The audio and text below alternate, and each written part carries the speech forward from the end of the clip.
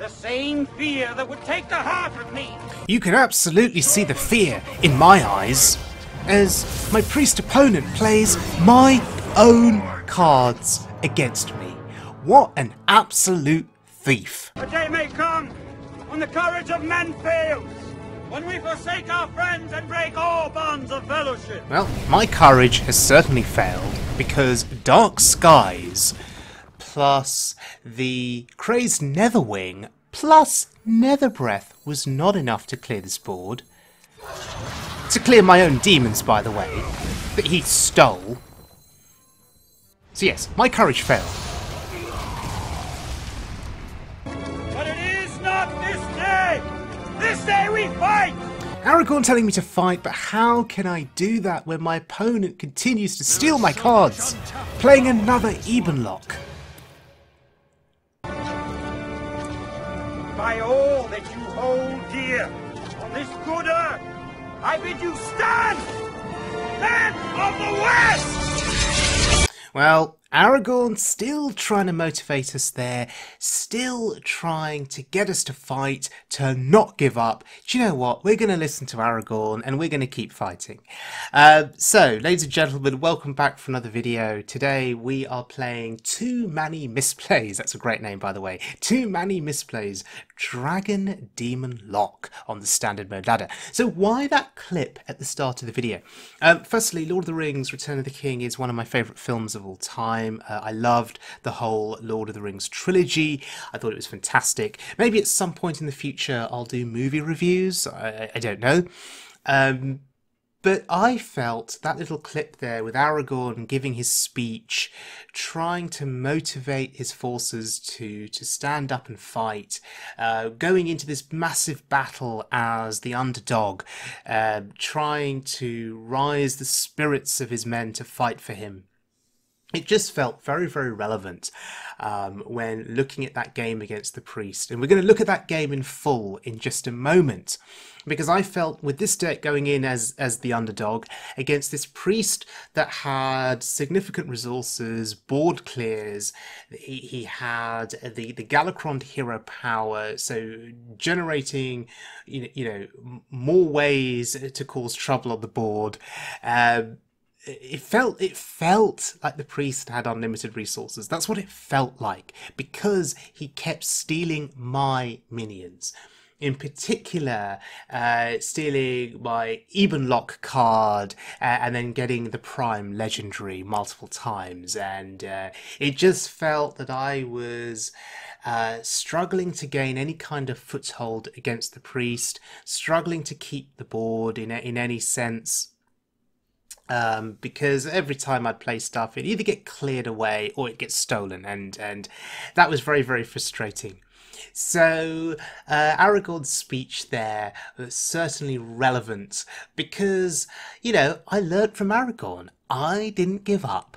I was able to hang in there until the end and as you watch this video you will see what happens uh, at the end of the game. Now this deck has some very interesting card inclusions. Let's quickly cover them. Um, first of all, Conjured Mirage. That is a 3 attack, 10 health taunt. The minion costs 4. The stats look amazing. So you'd be thinking, hey, why doesn't everybody play this in their decks? Well, the thing is, at the start of your turn, uh, this minion is shuffled back into your deck. Uh, so why play it at all? Well, this deck can, can draw through itself very, very quickly at times, and there's a good chance in long games you will hit fatigue before your opponent. So, this is a way of avoiding taking fatigue damage, right? You, you play it, it gets shuffled. If they don't kill it, obviously. It gets shuffled. Uh, you draw it, you don't take that fatigue damage, even though you've got no other cards left in your deck. It has use there, it has value. Um, other interesting inclusions in this deck, uh, you've got Frizz, um, Kindleroost. So discounting your dragons, and you have some pretty cool dragons in this deck, uh, Zaku being the key one, and Sathrovarr. Sathrovarr on Ebonlocke, uh, getting multiple copies of that card uh, playable means multiple prime copies too. That's pretty awesome. So here we go, that game that I promised you against the priest.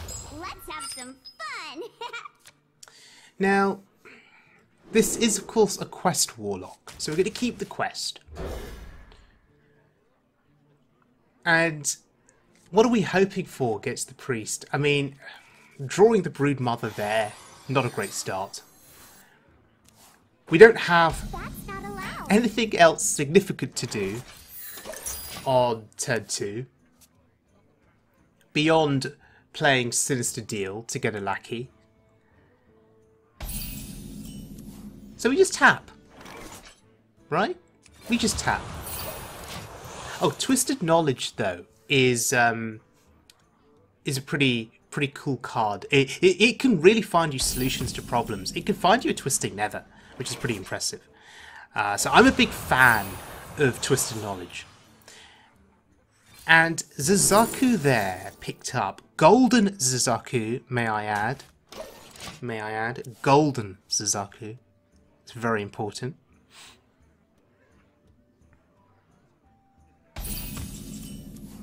And turn four, we play it.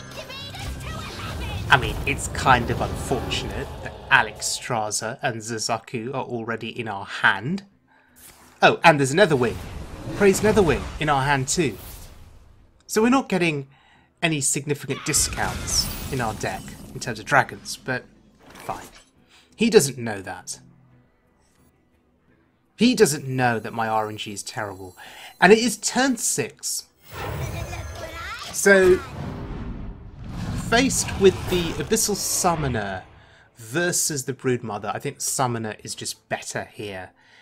Uh, he gets more stats on the board.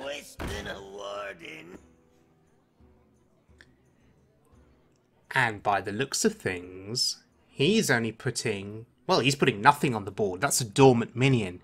Does nothing on my next turn. So if that's his only response, we're pushing 10 damage to the face, which I'm quite happy about.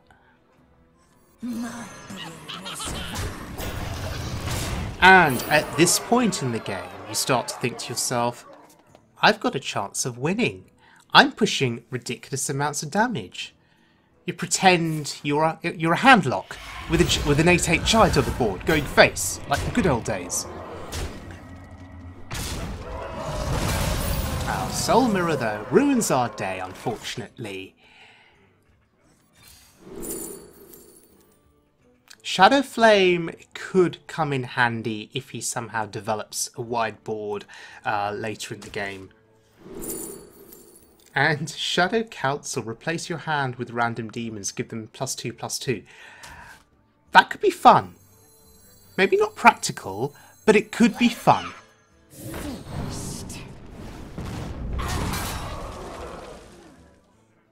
Okay, so our hand is, is really getting quite full up here.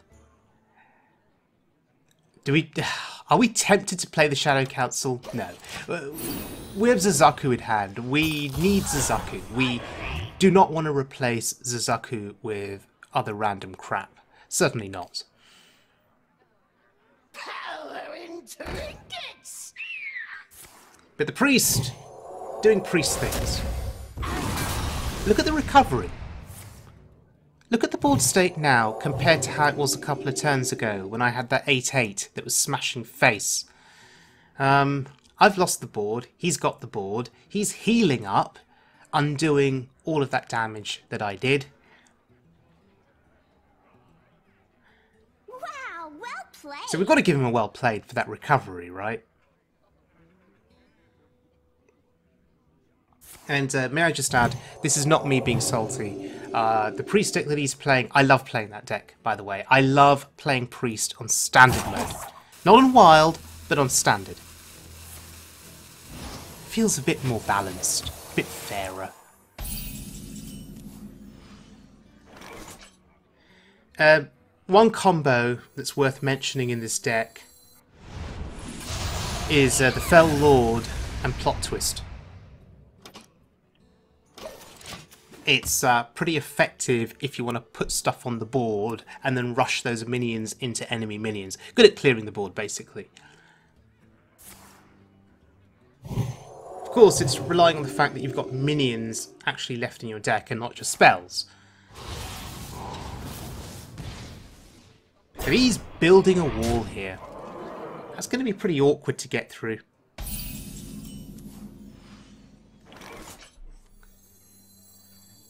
Well, we put a roadblock in the way. That's going to help a little bit. But I'm really conscious of the fact that it's a priest. So he's probably got answers in hand. That's an answer.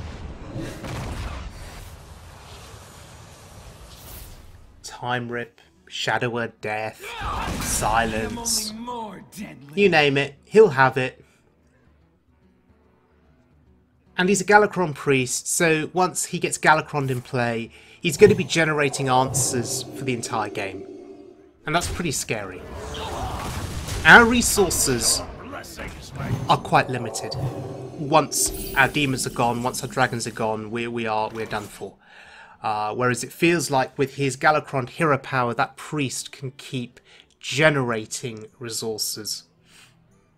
Uh, useful cards that can be played on a given turn. Useful solutions to problems that can be generated. Okay, Shadow Flame coming in handy here. That's not exactly how I wanted to utilise it. We've lost a 9-9 taunt, which is relevant. Um, could I have gone about that in a different way? Could I have played the Crazed Netherwing and then Shadow Flamed? Maybe. But maybe the Crazed Netherwing will hold value later in this game for the AoE. I don't know.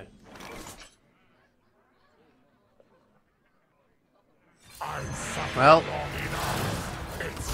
is there a better time? Is there a better time? I don't know. May as well go for it now. We get a 6-6 down, so we've got some value out of Zzeraku. He's at 4 attack, which means Shadow Word Death, Shadow Word Pain cannot hurt him. He can be silenced. Can he be stolen? Yes. Soul Mirror. It's the equivalent of stealing.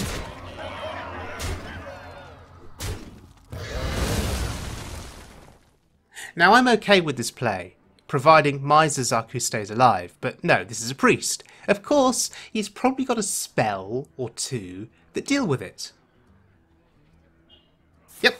Penance, of course. And Holy Nova. Big commitments, but the result is my opponent has his own Zzeraku, the Warped, on the board. So in response, the Fel Lord, what can you give me to kill off that board?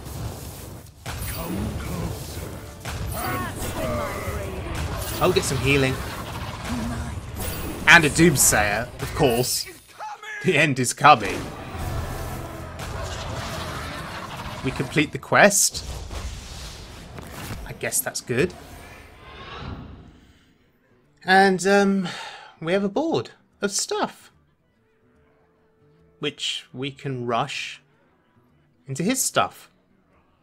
We have a Doomsayer on board. Uh, for a moment, I was thinking, oh my god, that Doomsayer is going to go off and kill my Fel Lord. Uh, I wonder. I then realised that, no, actually, at the end of the turn, these minions all die. So it's fine. It's absolutely fine. But initially, when you see a Doomsayer, you're always shocked, aren't you? you there's always that moment of, of horror. You know, of, oh my god, it, it, it's going to screw me. But no, no. The Fel Lord is safe and he's alive. Now, he probably won't be safe going forward, because the priest is probably going to kill him on this turn. You think this is your Wow, time? Horizon. It is mine. Wow, he gets the plot twist. That's crazy value. So in conclusion, you know, this priest is very much a thief. Just stealing my cards, stealing my mechanics, my strategies. Thought steal, yeah, of course. Probably taking something really good. So every time I pose a problem, he has not only the solution to clear my board, but he develops my own stuff against me as well. I mean, I, I don't think Conjured Mirage does anything here. It's going to stop some damage going to my face, maybe.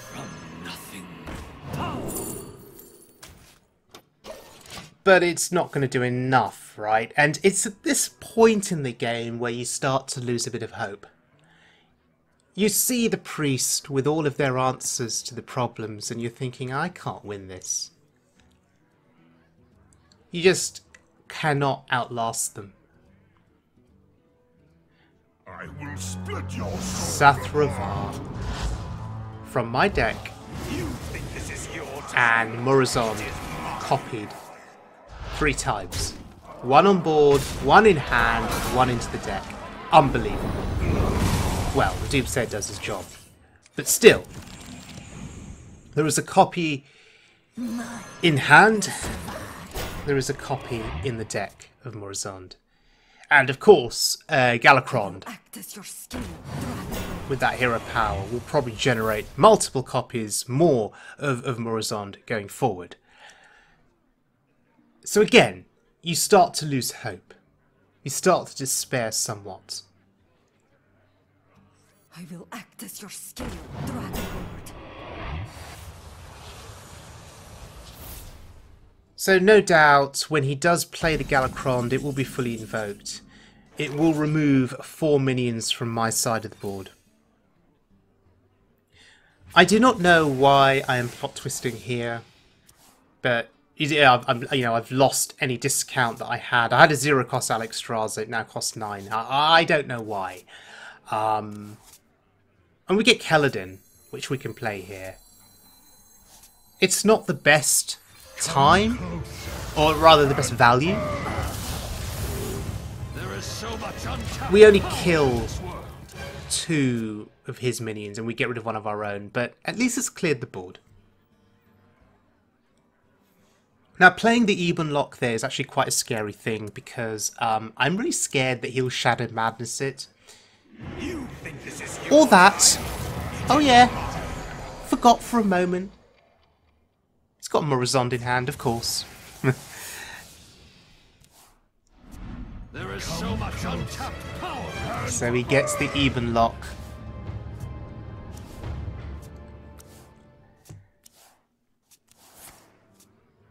Sure, another thought steal, why not? Okay. Um how do we deal with this? There's an 8-8 on the board that's going to be hitting our face. Siphoned Soul, thank you. So zero cost Siphoned Soul, really good. If we're going to have any hope of outlasting him, we need to play Sathrovarr here. I will split your soul apart. That's actually a beautiful entrance from Sathrovarr. much untapped power in this world. What does he say? I will split your soul apart? That's beautiful. Banishment.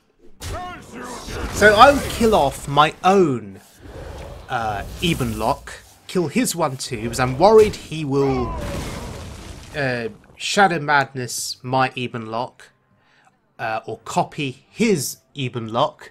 Um, that that's that's a, a, worry. So need to kill mine and his off as quickly as possible. We're still left with one of my own Ebonlockes on the board though. So please don't Shadow Madness it, Mr. Priest. I wonder.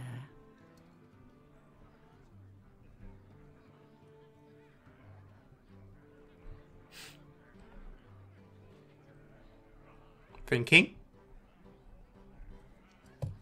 Thinking about how to steal more of my minions. Hmm.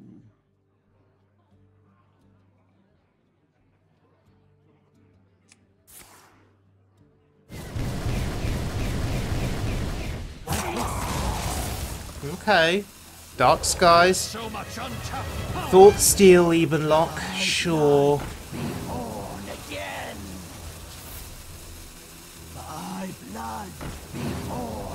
So this is really going to be a battle of the primes, right? Once these even locks are dying, it's going to be, yes, a battle of the prime legendaries. Oh, Jaraxxus. Yeah, we instant pick Jaraxxus.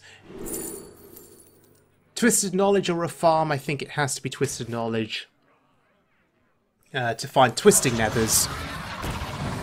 To deal with the demons that are going to come out from um, his prime cards. Servants of the Black Harvest! Alright, there's big there's one big wave of demons. Deal with that. On wings of destruction, they come. So you saw me snap pick Lord Jaraxxus there. I probably should have taken the Shadow Flame. But you know me. I love me some Jaraxxus. Jaraxxus is just one of my favourite cards in the game. You face Jaraxxus, Eredar Lord of the Burning Legion! You face Jaraxxus, Eredar Lord of the Burning Legion. And I won't do the laugh, because I'm not good enough. I'm not worthy. Definitely not worthy to do the laugh. Of course he's got an answer. Servants of the Black Harvest! I will spill no Well, here's my demons. From my deck, my cards. You stole them.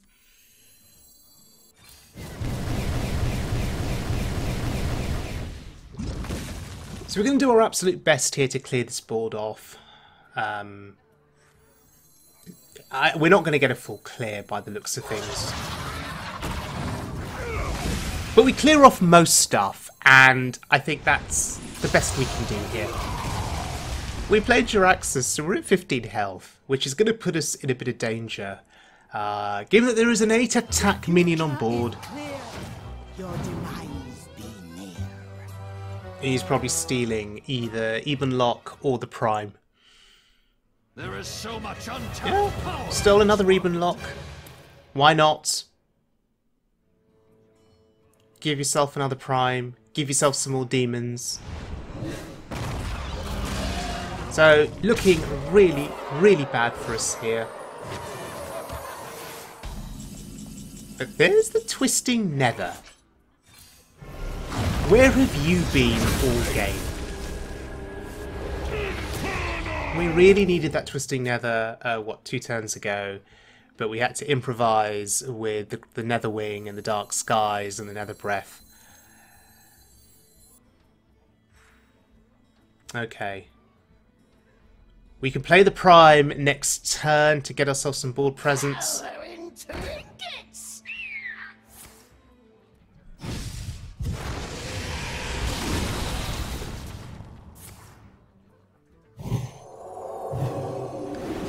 This seems like quite a weak turn on his part. I mean, the minion he's developed is terrifying in the long in the long game. Um, given the value uh, he can get from, from the spells generated by it. But at least on that turn, it's not going to kill me with its two attack, so that's absolutely fine. Meanwhile, we have quite a substantial... Oh, Shadow Madness, of course. Of course. So continuing to outvalue me, continuing to steal my stuff. However, You are too late. oh, that's interesting. Return is nigh. Promise. So you draw your Galakrond, probably setting up for next turn to clear my board, right? However, Alexstrasza, bring bringing life, or death in this case. What a finish to that game. Unbelievable. Lord Jaraxxus gets the win. Alexstrasza was our key to victory. Feels pretty amazing.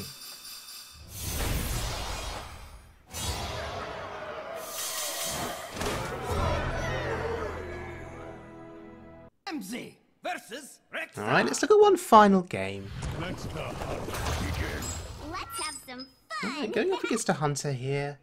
So this deck does very, very well against slower decks. Um, particularly if you can get the Ebonlocke value uh, with um, Sathrovarr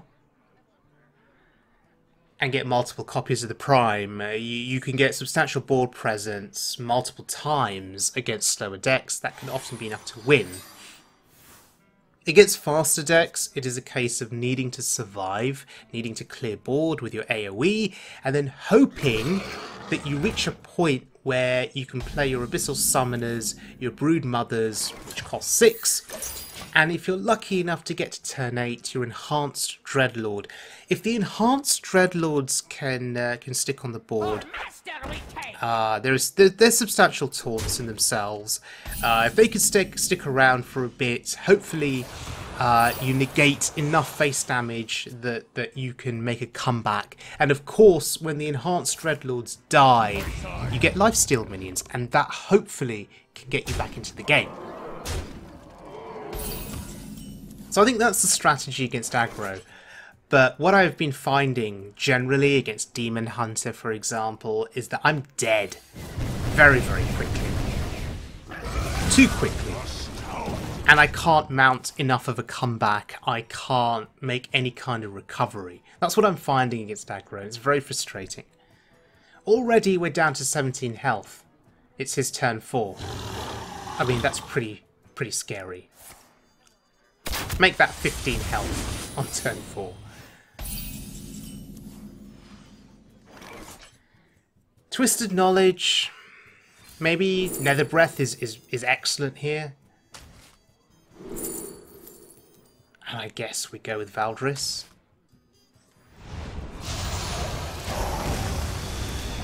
Feeling happier now at 19 health. Next turn we can coin out a summoner. Get a taunt on board. Maybe that will help us. Please don't be Huffer. Good, thank you, it's Leok. That was awesome! That deserves an emote. Because he was obviously hoping for Huffer. He was hoping to do the 4 damage. Look what I! Okay. We've now survived to a point where we can start developing taunts. That's really, really important. Because if this strategy pays off, this is the turning point in the game for us.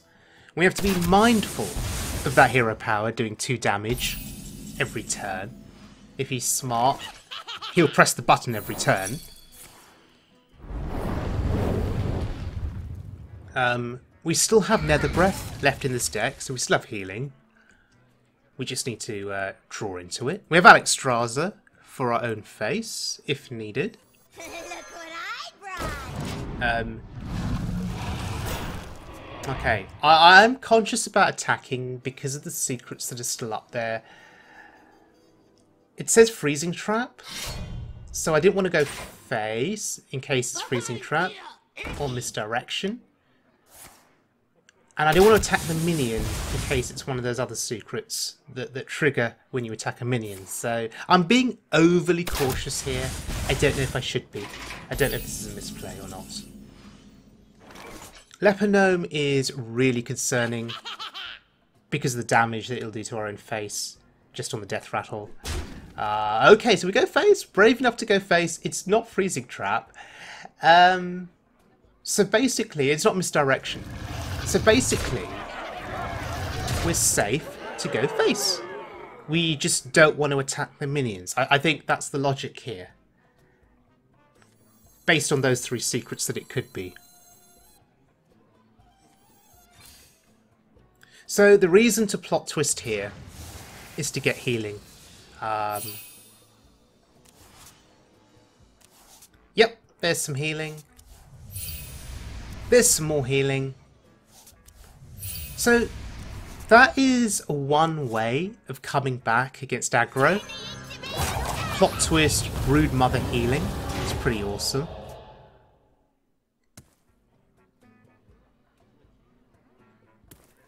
Still quite far off from quest completion, but I, I suspect that quest completion will not matter uh, in this game.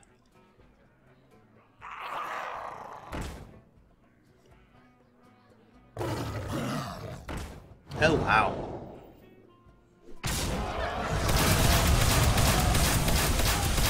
Oh, that's pretty significant.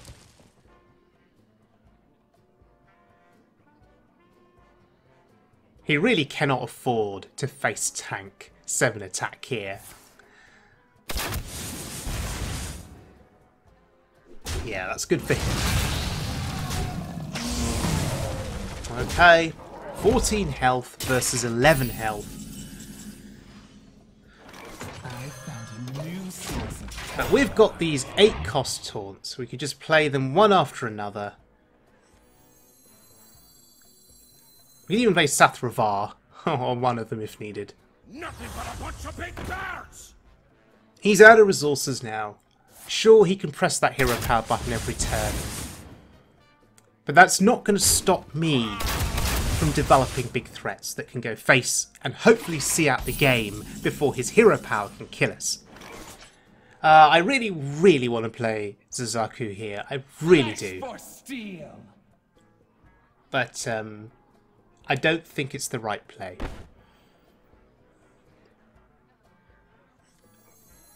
I found a new Yeah, I, I just think it's safer to play another taunt, just in case. I don't know if they run silence or not. Just playing that taunt, second taunt, makes me feel a lot safer.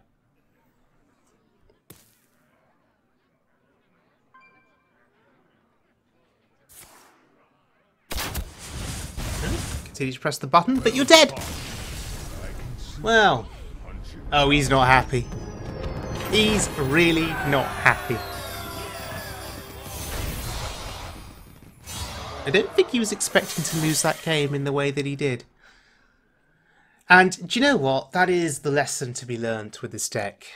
Uh, you can make some quite spectacular comebacks with your taunts, uh, with healing from the Broodmother. Sometimes that little bit of healing that you get from double Broodmother from uh, Plot Twist can just be enough to help you survive against aggro. Uh, so yes, it, with this deck in the early turns, it can look like you're in trouble. It can look like you're being overrun by aggressive opponents and taking a lot of face damage. But yes, the comebacks can be real and they can be effective. As you saw against the priest when it was looking absolutely hopeless when he kept stealing the Ebonlocke cards and generating uh, the Prime cards and getting big demons back onto the board constantly, again and again and again. It was looking so hopeless, but Alexstrasza helped us win the game because we were able to at, at one point just keep a few minions on the board uh, that he hadn't cleared uh, surprisingly. And with Alexstrasza putting him to 15, it was enough to finish the game.